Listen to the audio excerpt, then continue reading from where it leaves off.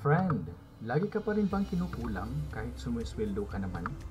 Wala ka pa rin bang naiipon kahit may trabaho ka naman? Kung yes ang sagot mo, then this video ay para sa'yo. Kaya sa video na to, you're about to discover on how to start your business with a very low capital. Pero bago ko sabihin sa'yo kung magkano, may tatanong lang ako sa'yo. Ikaw ba ay may pangarap sa buhay? Ikaw ba ay gustong makatulong at maibigay ang lahat ng gusto ng iyong pamilya? Ikaw ba ay gustong magkaroon ng time at financial freedom? At higit sa lahat, ikaw ba ay may pusong tumulong sa mga kapuspalan o mahihirap nating mga kapatid? Kung no ang sagot mo, then ihinto mo na lang ang video na to at ituloy ang ginagawa mo. Pero kung yes ang sagot mo, then I encourage you na ipagpatuloy ang panonood mo. Alam mo kung bakit? Dahil alam ko na ang sistemang ito ay makakatulong upang makuha ang mga gusto mo. Introducing Unique Uplift Network of Infinite Care, ang negosyong pangmasa. Ginawa ang kumpanyang ito upang maghikayat ng mga members na magsimulang magnegosyo sa halagang 300 pesos lamang upang makatulong sa mga less fortunate children, sa pamilya mo, sa sarili mo, at sa future mo. Alam mo na ba na ang 300 pesos mo ay pwedeng kumita ng 1,120 pesos per day o mahigit?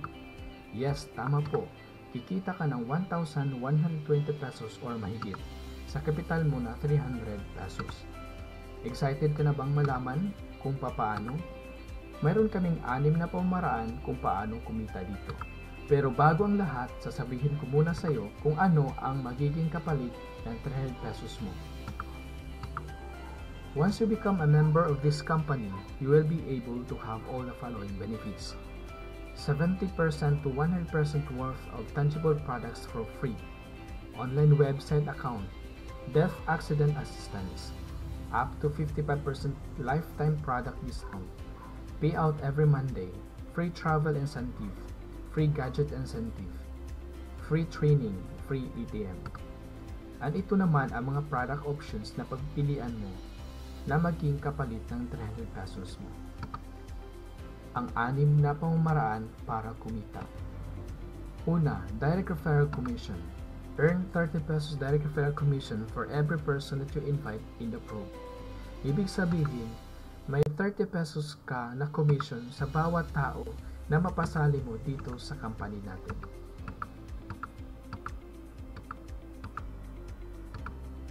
and you can invite as many as you can.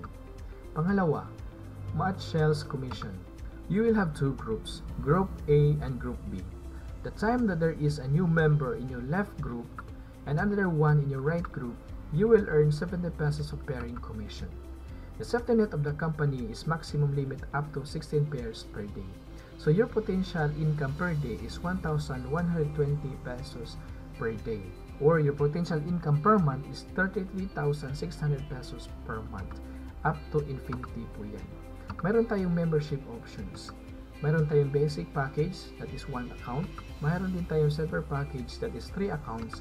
Meron din tayong gold package that is 7 accounts and platinum package that is 15 accounts. Number 3, personal rebates. Earn 5% personal rebates on every products you purchase. Ibig sabihin, makakatanggap po kayo ng 5% rebates sa bawat products na binili mo. At ang 5% rebates na yan ay mapupunta doon sa personal account mo. Number 4, indirect sales commission. Earn 1 peso as your unilevel commission up to 10th level every time your downlines repurchase our products. So, ibig sabihin, sa bawat products na binili ng mga downlines mo, ay makakatanggap ka ng 1 peso bawat products at mapupunta yan doon sa account mo. Number 5, Stockist Referral Commission. Earn 1,000 commission every time you refer a person who will become our home stockist holder. Number 6, Direct Selling. Earn on direct selling by getting 25% to 50% discount on every repeat purchase. Halimbawa, itong BioRub, ang member's price is 100 pesos. So, mayroon kang discount na 50%. So, ang bintahan mo sa labas is 199 pesos. So, you have the profit of 99 pesos. Dahil sa napagagandang kitaan dito, ito ang ilan sa mga kumita na. sa loob lamang ng isang buwan.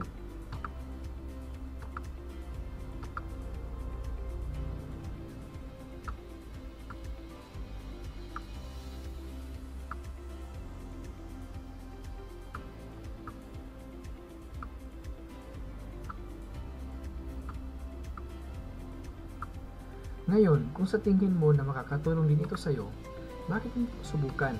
Ang pera ay madaling mawala, pero ang opportunity kapag pinalagpas mo ay hindi mo na maaaring maibalik pa. Ang pagsisisi ay palaging nasa huli. Mas mabuti na yung masasabi mo na, buti na lang sinubukan ko. Kaysa masasabi mo na, sayang sana sinubukan ko. Wala namang mawala kung susubukan mo lang. Baka ito pa ang maging dahilan na makukuha mo ang mga pangarap mo. Alam ko na maliit na bagay lamang ito. Pero kung bigyan mo ito ng halaga, malaki din ang may tutulong nito sa iyo at sa pamilya mo.